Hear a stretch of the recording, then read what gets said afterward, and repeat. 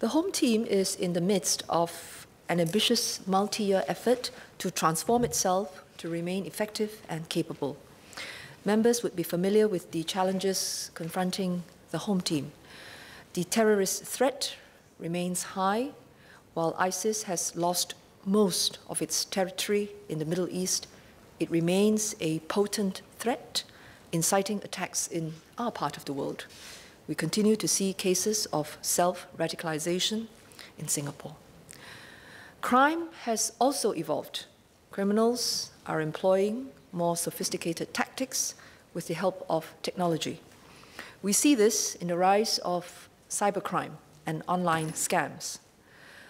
The workload of the home team has continued to increase and public expectations are rising. To cope with these challenges, simply increasing manpower is neither sustainable nor effective. The way forward is for the home team to change the way we do things. Technology is key. Ms. Jessica Tan pointed out, rightly, technology will enable us to be effective even in the face of manpower constraints. Our borders are Singapore's first line of defense against security threats.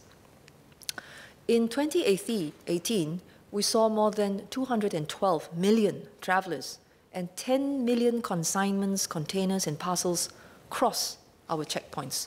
Protecting our borders is no easy feat and will only get more challenging.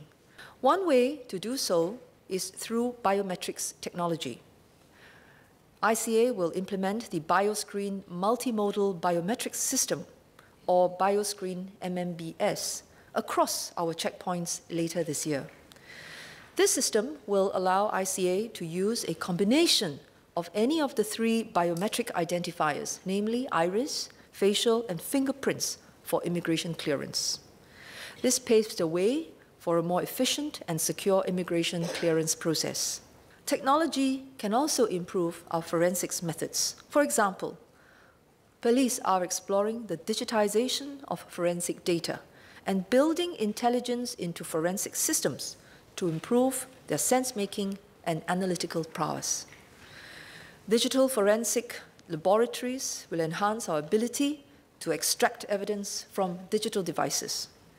These capabilities will go a long way in enabling the home team to rapidly generate leads and to apprehend the offenders. We will continue to strengthen our and augment our physical force and presence using robotics and unmanned systems. But as we look to further leverage technology, we will need to set up a dedicated agency to further develop the home team's science and technology capabilities. And why is a dedicated agency going to be able to do that better? First, many of the capabilities I have spoken about, such as forensics, biometrics, and surveillance, will become increasingly critical to safeguarding Singapore. And we must stay ahead in these areas. Second, many of these capabilities are unique to the home team, reflecting our distinct operational context and mission requirements.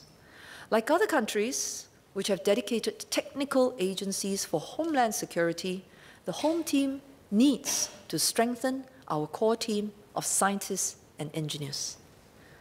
Third, a dedicated agency will boost the joint home team approach with capabilities developed and shared across departments. Lastly, centralizing science and technology talent that is today distributed across the different home team departments will better support career development for the officers, which in turn deepens organizational capabilities.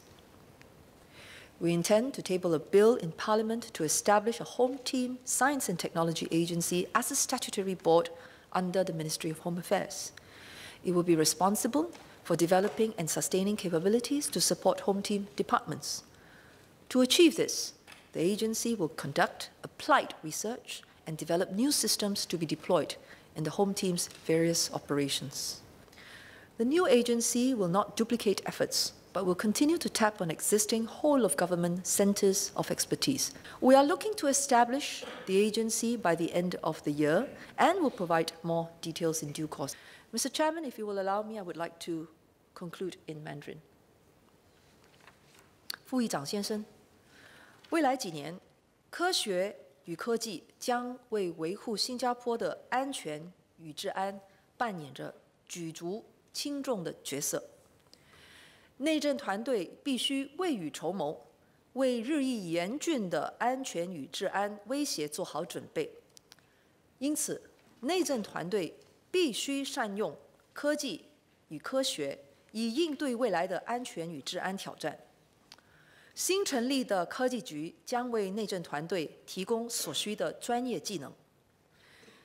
内政团队将认真履行使命。建立起有效的科技功能，全力维护我国的安全与治安。Thank you.